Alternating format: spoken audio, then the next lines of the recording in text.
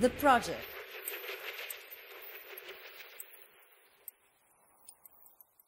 The mind. The main technological aspect of this project is the use of BCI, brain computer interface sensors.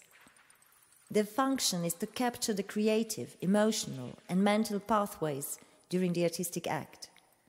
Moreover, the main interest is making a graphic map of creative thought in action through a recognizable model of geometrical patterns and shapes.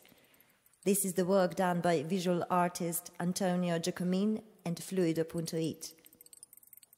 One sensor is attached to the forehead of the Sphinx's hat to symbolize the eye of wisdom.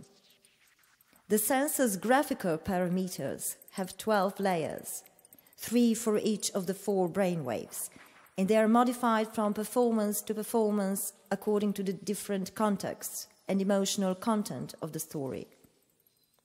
The data is processed into six images, which are projected onto six elliptical projection screens on the walled construction.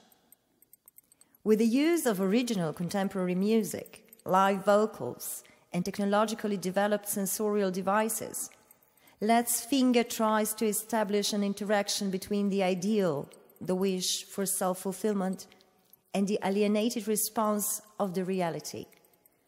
It tries to explain, within its own limits, the eternal gap between the illusion of reality and its real life reflection.